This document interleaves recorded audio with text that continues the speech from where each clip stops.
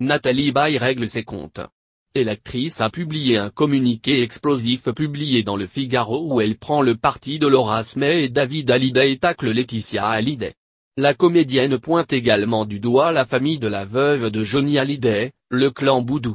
Toute la famille Boudou est citée sur le testament, jusqu'aux frères que Johnny ne supportait pas, tandis que David et Laura, artistes eux-mêmes, se voient refuser ne serait-ce que le droit d'écouter le projet des albums posthumes de leur père, déclare ainsi l'actrice.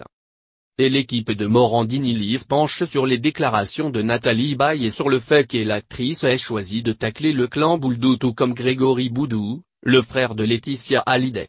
On apprend que le frère de Laetitia Hallyday serait exécuteur testamentaire en cas de décès de la veuve, note le chroniqueur Mathieu Jabot. C'est incroyable paradoxal et peut-être même malsain, estime-t-il. Nathalie Baye regrette que David Hallyday et Laura Smazen n'aient pas le droit d'écouter l'album posthume de leur père pendant sa préparation, ce qui peut être paradoxal, juge-t-il encore. Ces nouvelles révélations vont faire couler encore beaucoup d'encre concernant la bataille autour de et l'héritage de Johnny Hallyday.